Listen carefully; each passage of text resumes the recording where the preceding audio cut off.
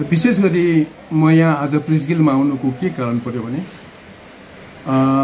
Gojo momo पार्टीको केन्द्रीय समितिको स्पोक पर्सनको हैसियतले मैले भन्नुपर्दा हालैमा एउटा सानो एउटा भिडियो क्लिप मेरो हात लाग्यो जसमा श्रीमान अनित थापाजीले गोर्खाल्यान्ड जो छ त्यो पाउँदै नपाउने कुरो चाहिँ हामीले माग्यौँ। र माग्नेले मागे भन्ने कुरालाई कुरा तेर्साउनु भएको छ।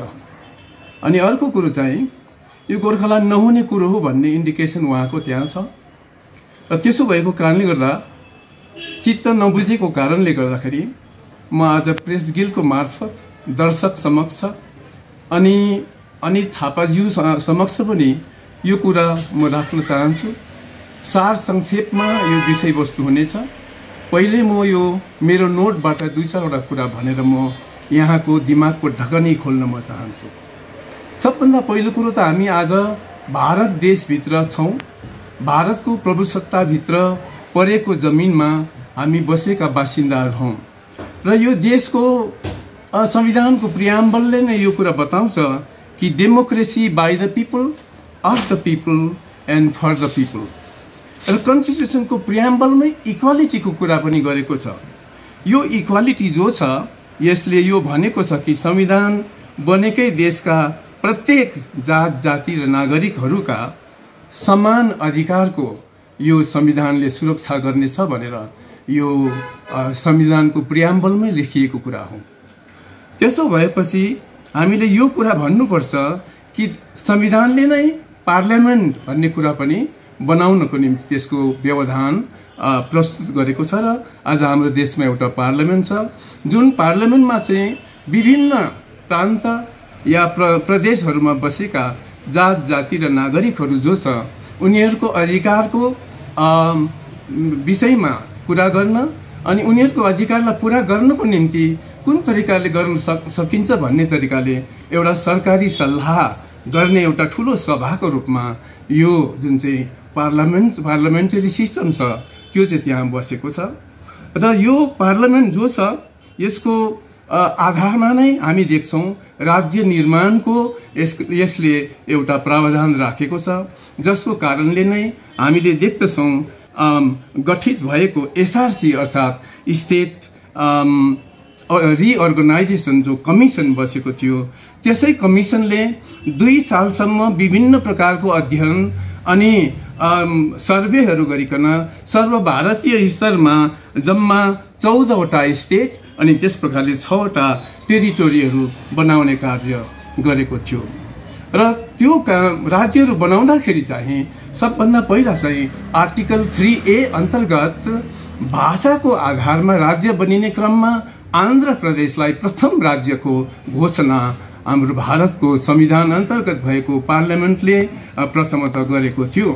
तर हामीले जब हामीले गोर्खाल्यान्डको कुरा गर्छौँ र गोर्खाहरूको जन्मसिद्ध अधिकारको कुरालाई हामी गर्छौँ भनेदेखि चाहिँ हामी हाम्रो राज्य निर्माणको कुरा चाहिँ केवल आर्टिकल थ्री एले मात्रै गर्दैन तर यस्ता थुप्रै आर्टिकलहरू छन् जसलाई हामीले कुरा गर्न सक्दछौँ।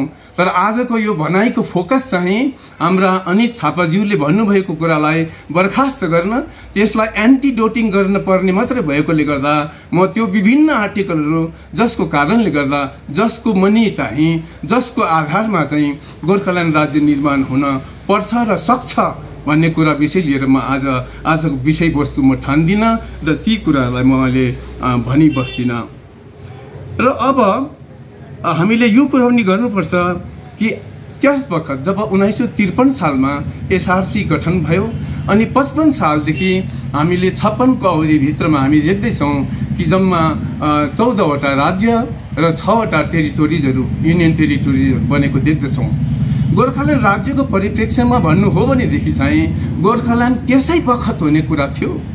तर बङ्गालको छली षड्यन्त्रको कारणले गर्दा यस्तो टेक्निकल कुराहरू भए जसको बारेमा म आज भनिबस्न चाहन्न यो सबैलाई विदितै भएको पनि कुरा हो जसको कारणले त्यसै बखत चाहिँ गोर्खाल्यान्ड हुन सकेन। र त्यस बखत हामी हामी देख्दछौँ हाम्रा गोर्खे नेताहरूले त्यो कुरालाई सरकारसँग पुर्याउनमा धेरै प्रकारको इनहिबिसन बाधाहरू भएको हामी देख्दछौँ। गोर्खाल्यान्डको विशिष्ट आधार विषय लिएर भन्नुपर्दा जब अठार सौ सोह्र सालमा ब्रिटिस इस्ट इन्डिया कम्पनीले गोर्खाहरू बसिरहेकै भूमिलाई भारतभित्र प्रवेश गराए भित्राए त्यस बखत चौसठ हजार वर्ग किलोमिटर अफ ल्यान्ड जो थियो त्यो चाहिँ भारतभित्र गोर्खाहरूसँगै भित्राएको थियो। अठार सौ सोह्रमा ब्रिटिस इस्ट इन्डिया कम्पनीले चाहिँ भारतभित्र प्रवेश गराउँदा चौसठ हजार वर्ग किलोमिटर अफ ल्यान्ड चाहिँ भारतभित्र पसेको हो। अनि त्यो चौसठ हजार वर्ग किलोमिटर अफ ल्यान्ड गोर्खासँग जो पसेको थियो त्यो चाहिँ अद्यावधि भारतभित्रै छँदैछ। तर आज हामीले हामीले जुन चाहिँ एउटा इलाकालाई हाम्रो गोर्खाहरूको निम्ति गोर्खाल्यान्ड बनिने लेजिटिमेसीको कुरा गर्दैछौँ। यहाँ बनिनुपर्छ गोर्खाल्यान्ड भनेर हामीले भन्दैछौँ त्यो जग्गाको क्षेत्रफललाई हेरि पठाउँदाखेरि छ हजार वर्ग किलोमिटरभन्दा ज्यादा छैन। जहाँ चौसठ हजार वर्ग किलोमिटर ल्यान्ड गोर्खासँग भारतभित्र प्रवेश गरेको थियो भने हामीले माग गरेको कमसेकम हाम्रो चिनारी स्वरूप हामीलाई एउटा ओढ्ने छाता स्वरूप हामीले पाउनुपर्छ भनेको भूमि केवल छ हजार वर्ग किलोमिटर ल्यान्ड मात्रै छ भने के भारत सरकारले त्यो हामीलाई दिन चाहँदैन त? हामीले मागेको जो गोर्खाल्यान्ड छ त्यो गोर्खाल्यान्ड चाहिँ भारतको प्रभुसत्ताभित्र भारतको भूमिको जुन चाहिँ सीमा छ सीमा छ त्यो सीमा सिमानाभित्र एउटा अरू राज्यहरू जस्तै बङ्गाल पश्चिम बङ्गाल राज्य जस्तै आन्ध्र प्रदेश जस्तै पन्जाब जस्तै यस्तै नागाल्यान्ड जस्तै यस्तो प्रकारको ल्यान्ड अर्थात् गोर्खाल्यान्ड एउटा राज्यको रूपमा हामीले माग गरेका हौँ। जसलाई कुनै तरिकाले पनि संविधानले हुँदैन भनेर भन्दैन। त्यसो हो भने हाम्रा आफ्नै काखमा लुटुपुटी गरिरहेका हाम्रा भाइ बहिनीहरूले यो रा राजनैतिक नेतृत्व दिँदैछ भन्दैन। उनीहरूले कस्तो कस्तो परिप्रञ्चमा परिपरे परिगएको कारणले गर्दाखेरि यस्तो हास्यास्पद कुराहरू यस्तो एकदम केटाकेटी जस्तो कुराहरू गर्न एकदमै नसहुदिलो भएको हामी यहाँबाट यो टेक हामी लिँदछौँ र विशेष गरिकन हामीले गोर्खाल्यान्डको कुरा गर्नुपर्दा भारतको आन्तरिक र बाह्य सुरक्षाको कुराहरूलाई पनि मध्यनजर राख्दै गोर्खाल्यान्डको कुरा चाहिँ हाम्रो देशको यो केन्द्रमा हामीले यसको विषयमा पेसी गरेको हुनुपर्छ कुरा राखेको हुनुपर्छ। विभिन्न सरकारहरू आए गए तर केन्द्रले नकारिरहेको छ भन्ने एउटा विचार हामीले यहाँनिर राख्दछौँ। तर यस्तो सेन्सिटिभ इलाकालाई एउटा राज्य बनाउनु पर्दा हाम्रो हकभित्र परेको हुँदाहुँदै पनि यसको निम्ति सठिक इतिहास हुँदा हुँदा हुँदा हुँदै पनि लेजिटिमेसीका जम्मै ए टु जेड कुराहरू हुँदा हुँदै पनि गोर्खाले आजसम्म राज्य किन प्राप्त गर्न सकेन त? यसको एउटै कारण हो कि हामीलाई नेतृत्व गर्ने जति पनि अगुवाहरू केन्द्रमा गए उनीहरूको इन्टिग्रिटी र क्यारेक्टरको कारणले गर्दा। आफ्नो पार्टीको मेनिफेस्टोमा पनि सही प्रकारको इन्टिग्रिटी र क्यारेक्टरका सवालहरू नभएको पार्टीहरूले प्रतिनिधित्व गरेको कारणले गर्दा। अनि व्यक्ति विशेषहरू जो केन्द्रमा गए उनीहरूको जम्मै प्रकारको खाका सरकारले तयार गरिसकेको हुन्छ गर्नु पनि पर्छ। सिआइडी डिआइबी सबले अनि विभिन्न अरू देशका जो आन्तरिक कुराहरूलाई ध्यानमा दिने जो सरकारी संयन्त्रहरू छ मेकानिक्स छ उनीहरूले ध्यान दिएर हेरेका कुराहरूमा ती व्यक्तिहरू जसले हाम्रो प्रतिनिधित्व गरेको छ मोसो र धोसो दलिएका अनि दस बिस करोडमै बिक्री हुने व्यक्तिहरूले गोर्खाल्यान्ड माग्दा देशले पटक्कै पटक्कै पटक्कै ती व्यक्तिहरूको हातमा यो गोर्खाल्यान्ड भन्ने कुरा यस्तो कुरालाई सुम्पिनु हुँदैन।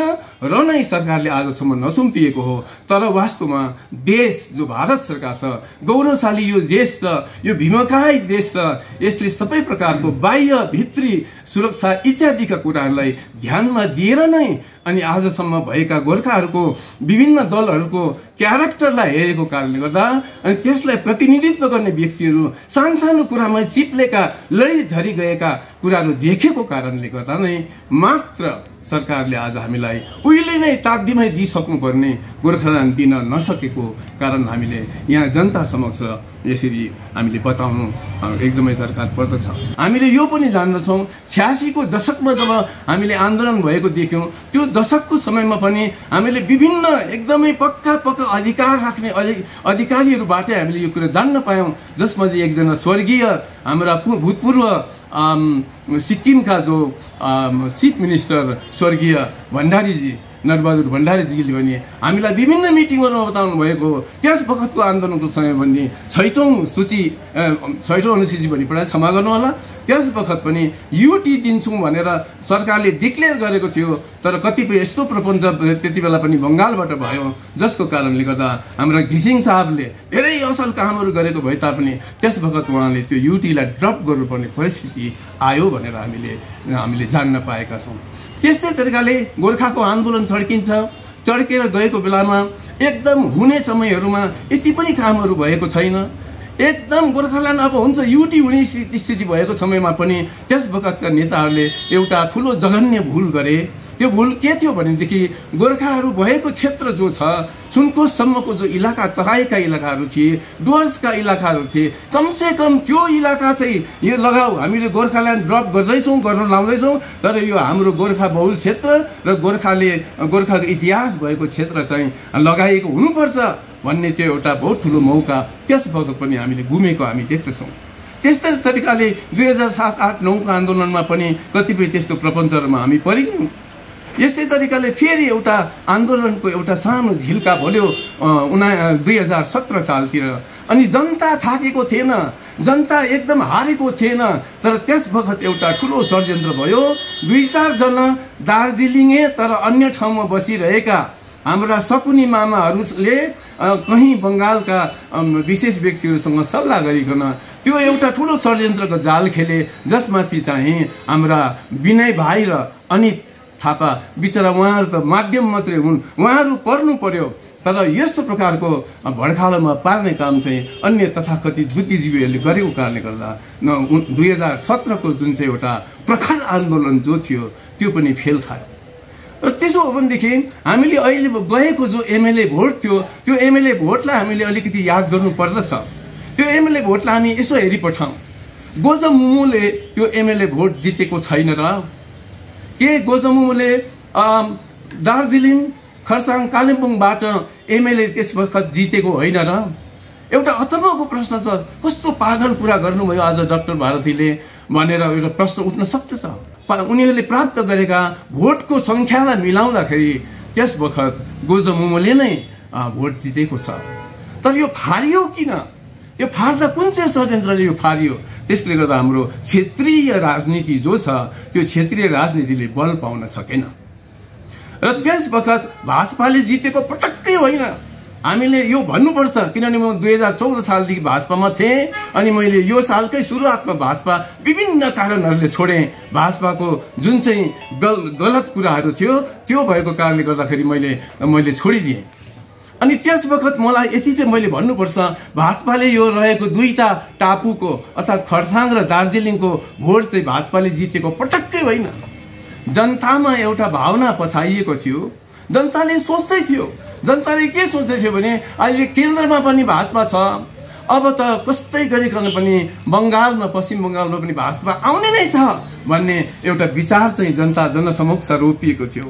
जनता गोर्खाल्यान्डप्रति आशी थिए जनता पीडित थिए जनता पीडित हुनु स्वाभाविक हो जनताको जन्मसिद्ध अधिकार हो यो गोर्खाल्यान्ड यो भूमि हाम्रो हो अन्यत्र पनि भूमि हाम्रो छ जस जुन भूमिमा अगुवाईबाट अन्य राज्यहरू जस्तै हिमाचल प्रदेश उत्तराञ्चल सिक्किम राज्य जस्तो राज्यहरू बनिएको छ जहाँ गोर्खाको बासभूमि अठार सौ सोह्रसम्म थियो। त्यसपछि केही भागहरू जो गोर्खाका भूमिमा पर्दथे बङ्गलादेशमा पसिगयो उन्नाइस सौ पाँचमा जब बङ्गाल डिभिजन भयो त्यो बेला यस्तो घटनाहरू घट्यो जस बेला चाहिँ त्यो कति भागहरू चाहिँ बङ्गलादेश पूर्व बङ्गालमा पसिगयो पछाडिबाट उन्नाइस सौ सैँतालिसमा त्यो बङ्गलादेश भयो। त्यहाँ पनि गोर्खाको भूमिहरू छ भनेर हामी म्यापसहित यस प्रकारले आउँदो दिनहरूमा हामी तपाईँ जनता समक्ष हामी त्यो कुरो भन्नेछौँ। त्यति मात्रै नभएर जब तराई डुवर्सलाई जब अङ्ग्रेजहरूले यो सिन्चुलाको सन्धिको तहत हामीले देख्छौँ यो कालिम्पोङ र डुवर्सको जो भाग चाहिँ उनीहरूले दार्जिलिङ जिल्लामा मिसाएर बङ्गालमा को छुट्टै बङ्गालदेखि छुट्टै एउटा रेगुलेटेड ल्यान्ड पार्सियली एक्सक्लुडेड ल्यान्डको रूपमा जस्तै राखे। त्यो जुन चाहिँ भूमि थियो त्यो पनि पहिल्यैबाट गोर्खा बहुल लडाका जातिहरू बसेको थियो र त्यही त्यही लडाका जाति बसेका जग्गाहरूलाई मात्रै अङ्ग्रेजले भुटानबाट लिएर आफ्नो साथमा राखेको हामी अठार सौ पैँसठको इतिहासमा हामी पाउँदछौँ।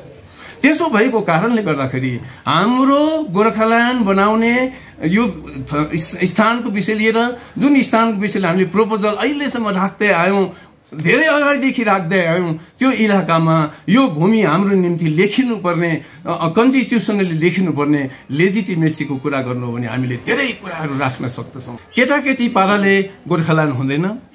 दारीजुङमा फुलेकाहरूले पनि कोसिस गर्दा गर्दै हुत्ती हारा भएको कारणले गर्दा र गोर्खाल्यान्ड कसरी बन्छ ठोस कारणहरू नजानेको कारणले गर्दा गोर्खाल्यान्ड हुँदैन।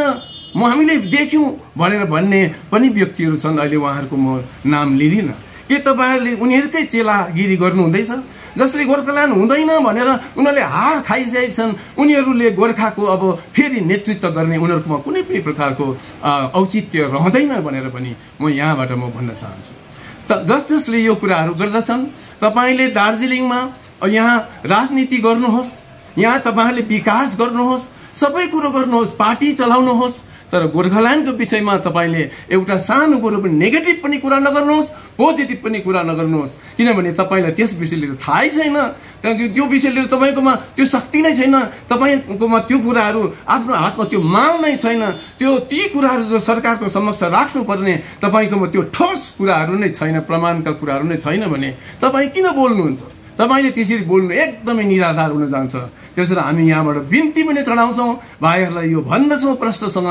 तपाईँहरूले यो यो नचलाउने कुरो जुन चाहिँ कुरा तपाईँले चलाउनु सक्नुहुन्न तपाईँहरूले पटक्कै नचलाइदिनुहोस्। तपाईँले पटक्कै नछुइदिनुहोस् भनेर यहाँबाट अहिले हाललाई हामी तपाईँलाई बिन्ती हामी यहाँ टक्राउँदछौँ।